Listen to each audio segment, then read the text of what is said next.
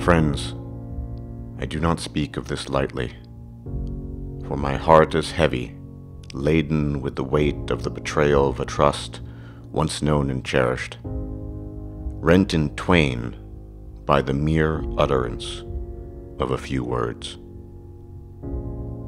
In all my life, in all the travails visited upon me, I thought I had known the meaning of pain, the taste of bitter sweet tears forced down my gullet by sadness unimagined. I thought I knew that though the world be rife with turncoats and the foul, that among the dregs of those we call our fellow human beings, there were men of virtue, men who held in their hearts the cause of righteousness and lived by example in both word and deed. Such men were called the just, the kind, the compassionate, and I once knew such a man. He called himself Niko Choski.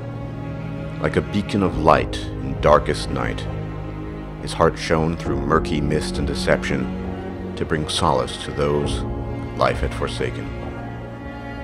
I was one such to be touched by his words and mind as I lay helpless, drowning in a sea of chaos and pain. Battered by wind and wave, he came to me and guided me to shore, driving back both doubt and darkness. Here, I thought, was a man of greatness that all may call brother, father, and friend, and indeed, Savior, as he parted the clouds of darkness to bring us the nourishing light of the sun. He was a good man, a just man, and I thought him to remain such, until I heard a bile from his lips hitherto unknown to me, that such fantastic corruption could be visited upon one I loved? Nothing had prepared me for it. I sat in quietude for some time, knowing neither whence nor whither, and yet here it was, incontrovertible evidence that the pall of darkness had been laid upon his heart, and where once his heart bore the light of the sun and lifted up his fellow men, it had fallen to depths darker than any man has known. When he uttered these words, I thought my senses to deceive me, and I strove with both heart and mind to drive away the pain, the disappointment, and agony they brought about in me. I was truly lost when he uttered, next Fallout which is coming out. I don't care. No, it cannot be.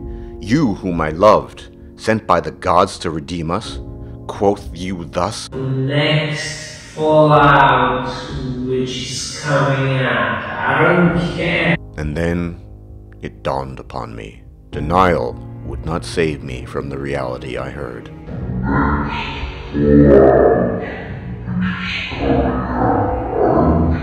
For to deny the glory and greatness of post-apocalyptic Boston is the sole province of the wicked, the perfidious, the hateful, the destructive. You, Niko Choski, my former love, have become betrayal personified.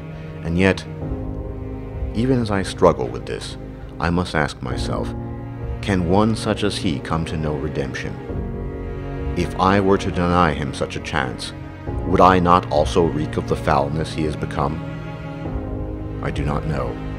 Though perhaps wiser, greater men could forgive, I am likely too deficient in these qualities to forgive, and thus henceforth I can remember the man who had been sent by the gods to redeem us, and bury in the deepest, darkest recesses of my heart the fallen man, who in denying the glory of Fallout 4 came to cavort with devils when his destiny had proclaimed him a companion of angels, a man who had once been a beacon of light, now a candle caliginous and torch tenebrous, a man whom I had loved as brother, father, and friend. I say unto you, may the gods forgive you, for I cannot. May you know the pain of a thousand deaths as deathclaws tear at your entrails. Farewell, my love.